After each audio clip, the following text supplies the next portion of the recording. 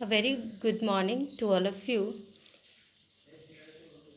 Today we are going to start our first module power semiconductor device. Okay, so power con- power semiconductor device में जाने से पहले हम लोग ये जानेंगे कि स्विच क्या होता है ठीक है almost all power semiconductor devices are act as a switch okay so what do mean by switch switch क्या होता है? ठीक है? An electrical switch is an any device use to interrupt the flow of electrons in a circuit ठीक है? हम लोग switch के बारे में ऑलरेडी जानते हैं। ऐसा, ये एक ऐसा डिवाइस होता है जो फ्लो ऑफ़ करंट को रोकता है इंटरप्ट करता है। ठीक है? Flow of current means flow of electrons को रोकता है। उस तरह के डिवाइस को हम लोग क्या बोलते हैं? Switch okay so almost all power electronics और power semiconductor device are used as a switch ठीक है? जितने भी हम लोग पावर सेमीकंडक्टर डिवाइस जो फर्दर पढ़ेंगे, सब कैसे यूज़ क्यों क्यों यूज़ होते हैं? एज अ स्विच ठीक है? सारा का काम क्या है? एज अ स्विच ठीक है? अब कौन सबसे ज़्यादा फास्ट काम करेगा? स्विचिंग प्रोसेस सबसे ज़्यादा फास्ट किसका है? वो हम लोग लेटर स्टडी करेंगे, ठीक है? फॉर एग्ज़ाम्पल हम लोग देख रहे हैं कि कितना सारा हम लोग स्विच पढ़ेंगे। Power diode, power BJT, power MOSFET S C R I G B T diac triac G T U etcetera. ठीक है, इतने तरह के स्विच हम लोग पढ़ेंगे। ठीक है, अब बात है कि फर्दर हम लोग जब आगे स्टडी करेंगे पावर इलेक्ट्रॉनिक्स तो उस पर हमको कौन कौन सा डिवाइस मिलेगा? ठीक है, कुछ दूर तक हमको रेक्टिफायर तक पायो डायोड पावर डायोड मिलेगा। ठीक है मीन्स पावर डायोड और थायरिस्टर ठीक है S C R silicon controlled rectifier, ठीक है? ये दोनों ये ये दोनों सॉरी जो पावर सेमीकंडक्टर डिवाइस है, इसको हम लोग यूज़ करेंगे नेक्स्ट चैप्टर से, ठीक है? तो मेन इंपॉर्टेंट टॉपिक इस चैप्टर का मेरा क्या होगा? पूरा पावर इलेक्ट्रॉनिक्स का क्या होगा?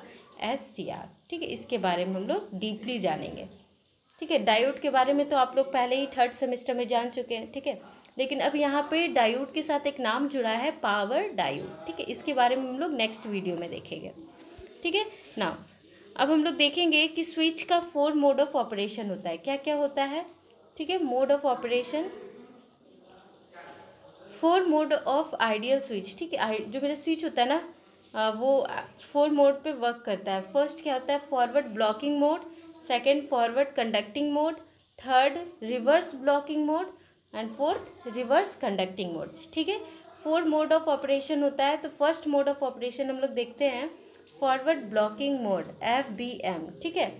देखिए diode don't have forward blocking mode ठीक है? जो मेरा डायोड होता है, उस पर ये कैपेसिटी नहीं होता है कि फॉरवर्ड में वो ब्लॉकिंग मोड करके रखे मीन्स करंट को वो ब्लॉक करके रखे। ऐसा उसके पास कैपेसिटी नहीं होता है, लेकिन SCR के पास होता है, ठीक है?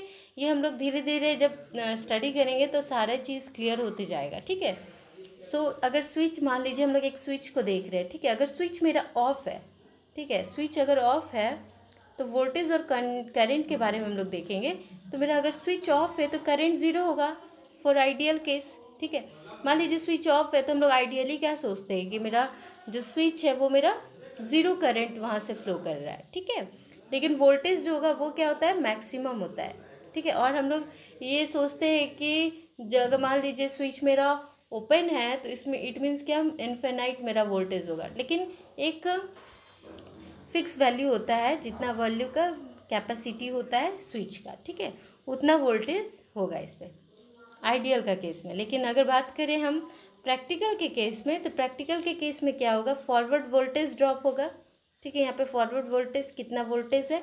और एक आईएल करंट फ्लो करेगा, जिसको हम लोग क्या बोलते हैं? Leakage current.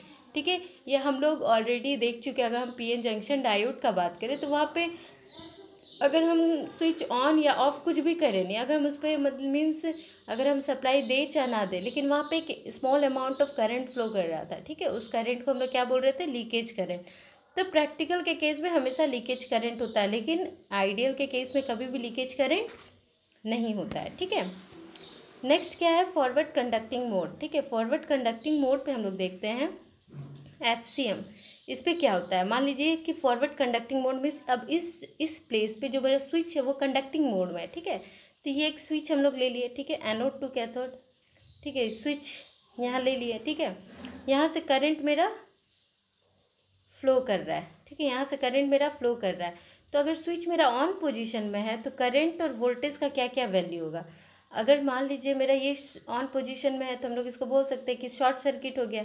इस केस में मेरा जो वोल्टेज होगा ज़ीरो हो जाएगा, ठीक है, यहाँ वोल्टेज ड्रॉप तो ज़ीरो हो जाएगा, और करंट यहाँ पे क्या हो जाएगा मेरा? फॉरवर्ड करंट ठीक है आइडियल का केस में फॉर आइडियल केस में मेरा वोल्टेज ज़ीरो होगा और जो मेरा करंट है फॉरवर्ड करंट वो मेरा क्या हो जाएगा? आई एफ़ ठीक है, लेकिन प्रैक्टिकल के केस में ऐसा नहीं होता है सब देखिए, जो मेरा वायर होता है ना, जो स्विच होता है, उसका कुछ इंटरनल रेजिस्टेंस होता है, ठीक है? अब उस इंटरनल रेजिस्टेंस के कारण कुछ ड्रॉप होता है। अगर मान लीजिए वहाँ से करंट फ्लो कर रहा है तो उस इंटरनल रेजिस्टेंस का कुछ ड्रॉप होगा, जिसको हम लोग क्या बोलेंगे? वी ड्रॉप ठीक है? प्रैक्टिकल के केस में हमेशा वी ड्रॉप होता ही है, ठीक है? एक वायर को ही ले ले तो वो हीट होता है मीन्स उस पर वोल्टेज ड्रॉप हो रहा है। ठीक है? तो डायोड जो होता है ना, उस पर फॉरवर्ड कंडक्टिंग मोड होता है और SCR में भी फॉरवर्ड कंडक्टिंग मोड होता है, ठीक है? तो जो डायोड है प्रैक्टिकल डायोड प्रैक्टिकल का बात करें तो वी ड्रॉप होता है, जो कि मेरा क्या वैल्यू होता है? आई एफ़ वी एफ़ हमेशा ये पॉजिटिव वैल्यू होगा, ठीक है? हमेशा पॉजिटिव क्योंकि फॉरवर्ड कंडक्टिंग मोड में ठीक है? नेक्स्ट हम लोग देखेंगे थर्ड ठीक है, पहले हम लोग सारा मोड के बारे में देख लेते हैं, फिर हम लोग ग्राफ देखेंगे, ठीक है? थर्ड क्या है? रिवर्स ब्लॉकिंग मोड ठीक है? रिवर्स में मेरा जो स्विच है, वो कैसे ब्लॉक करके रखता है, ठीक है? तो ये स्विच है रिवर्स ब्लॉकिंग मोड में मेरा क्या हो रहा है कि स्विच ओपन है, ठीक है? हम लोग एज्यूम कर रहे हैं। तो इस पर वोल्टेज क्या होगा? V R reverse voltage flow करेगा, ठीक है? यहाँ पे रिवर्स वोल्टेज होगा, इस दोनों के बीच, ठीक है? करंट का वैल्यू क्या होगा? ज़ीरो आइडियल के केस में, ठीक है? लेकिन प्रैक्टिकल के केस में यहाँ पे भी एक आई आएगा जो कि लीकेज करेंट है, ठीक है? तो जो डायोड होगा, डायोड भी मेरा रिवर्स ब्लॉकिंग स्टेट होता है डायोड में भी और एससीआर में भी रिवर्स ब्लॉकिंग स्टेट होता है, ठीक है? फोर्थ वन क्या है? रिवर्स कंडक्टिंग मोड, ठीक है? Reverse conducting mode. अब ये जो रिवर्स कंडक्टिंग मोड है, डायोड और एससीआर दोनों में ही रिवर्स कंडक्टिंग मोड नहीं होता है। रिवर्स कंडक्टिंग मोड क्या होता है कि अगर मान लीजिए यहाँ से मेरा करंट फ्लो कर रहा है, ठीक है? इस इस इस पॉइंट पे क्या होगा? वोल्टेज मेरा ज़ीरो होगा करंट मेरा IR होगा। क्यों? क्योंकि ये पूरा ऑन स्विच है, ये स्विच ऑन है, ठीक है? ये स्विच ऑन है, यहाँ पे आई मेरा करंट फ्लो कर रहा है। लेकिन अगर बात करें हम प्रैक्टिकल का, ये तो आइडियल के लिए हो गया, ठीक है? ये प्रैक्टिकल का अगर बात करें तो मेरा वोल्टेज VR होगा और करंट आई होगा, जो कि मेरा एक लीकेज करंट होगा और करंट जो मेरा फ्लो करेगा रिवर्स डायरेक्शन में। उसको हम लोग क्या बोलते हैं? Reverse current, okay? मीन्स ये मेरा लीकेज करंट नहीं होगा, ठीक है? लीकेज करंट मेरा ब्लॉकिंग मोड पे चलता है। ठीक है? लीकेज करंट जो है वो मेरा ब्लॉकिंग मोड पे चलता है। यहाँ पर अगर कंडक्टिंग मोड में हमेशा मेरा कंडक्टिंग करंट जाएगा तो यहाँ रिवर्स कंडक्टिंग करंट फ्लो करेगा। ठीक है? Reverse current.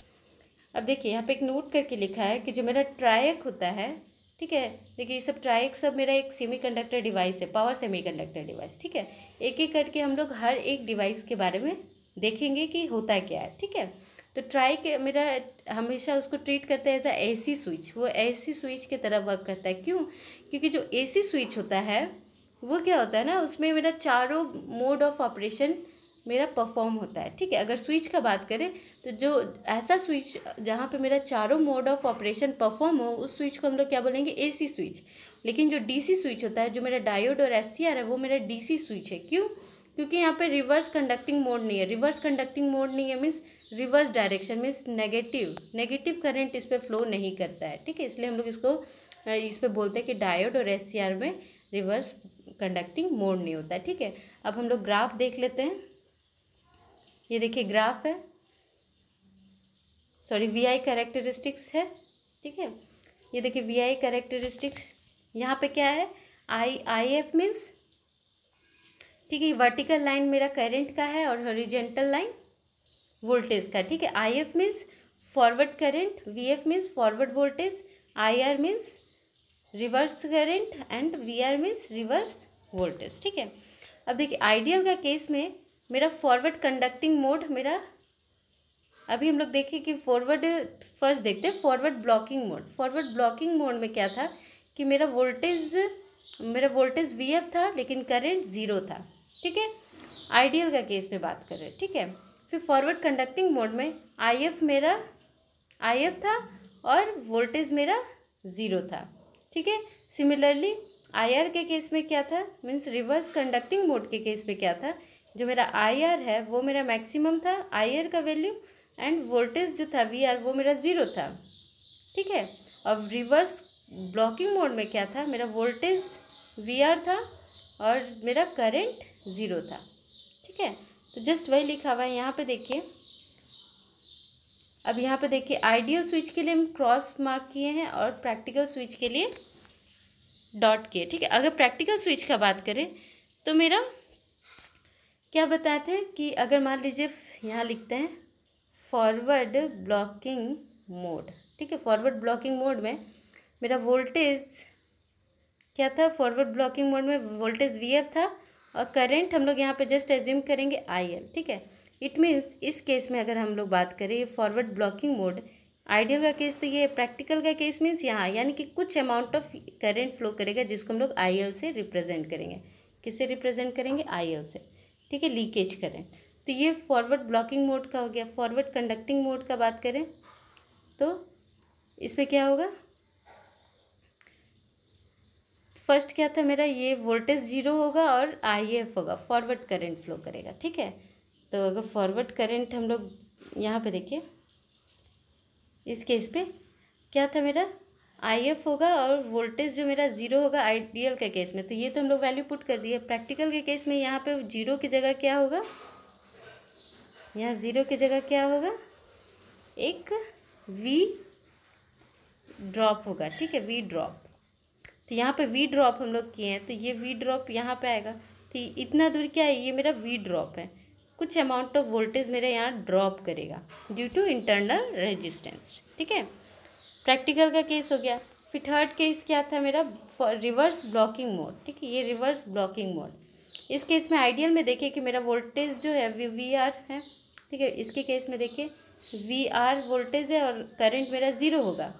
ठीक है आइडियल के केस में वी आर और प्रैक्टिकल केस में यहाँ पे आई आर फ्लो करेगा। ठीक है लीकेज करेंट ठीक है leak reverse leakage current flow करेगा। तो इस केस में देखिए आइडियल का केस में तो वी आर मेरा वैल्यू है और ये मेरा ज़ीरो है, ठीक है? लेकिन प्रैक्टिकल के केस में मेरे यहाँ पे है, डॉट से रिप्रेजेंट है प्रैक्टिकल। इस केस में मेरा कुछ अमाउंट ऑफ़ करेंट है, जिसको हम लोग क्या बोलेंगे? लीकेज करेंट ठीक है? फोर्थ केस यहाँ पे आइए। फोर्थ केस क्या है यहाँ पे? रिवर्स कंडक्टिंग मोड यहाँ पे मीन्स यहाँ पे मेरा वी आर जो है मीन्स वोल्टेज जो होगा, वो मेरा क्या होगा? वोल्टेज मेरा ज़ीरो होगा, करंट का वैल्यू क्या होगा? I F forward sorry reverse current I R sorry ठीक है? रिवर्स करंट फ्लो करेगा यहाँ पे। अब इस केस में अगर हम लोग देखें तो अगर ये तो आइडियल का केस हो गया, ठीक है? अगर हम लोग इसका बात करेंगे प्रैक्टिकल का केस तो यहाँ पे क्या हो जाएगा? वी ड्रॉप होगा रिवर्स ड्रॉप और आई आर होगा, ठीक है? तो अब यहाँ पे हम लोग वोल्टेज के इट मीन्स ये वोल्टेज का बात कर रहा है। इतना वोल्टेज ड्रॉप होगा प्रैक्टिकल का केस है? और करेंट का तो वैल्यू सेम होगा। ठीक है आई आर तो ये मेरा हो गया overall V I characteristics of ideal switch ठीक है? सो आई होप आप लोग को क्लियर हुआ होगा कंसेप्ट ऑफ़ स्विच उसके मोड ऑफ़ ऑपरेशंस क्लियर हुए होंगे।